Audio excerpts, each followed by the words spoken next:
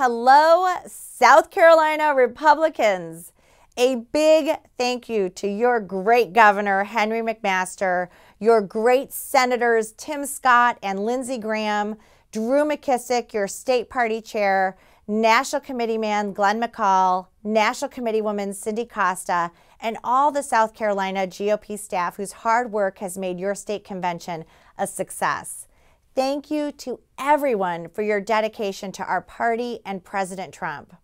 We have seen how President Trump has taken strong measures to protect the safety of our fellow citizens while taking sensible steps to reopen our economy as we transition to greatness.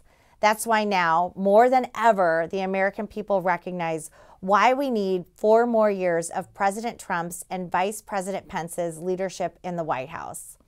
The Palmetto State went big for President Trump last time in 2016, but especially now, we can't afford to get complacent.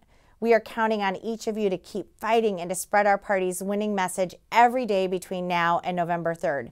Together, we will deliver wins for Republicans up and down the ballot. We will reelect Senator Lindsey Graham, take back the House, and reelect President Trump to a second term. Thank you for your commitment to our country and our common cause. I look forward to seeing all of you in August. God bless each and every one of you, and God bless the United States of America.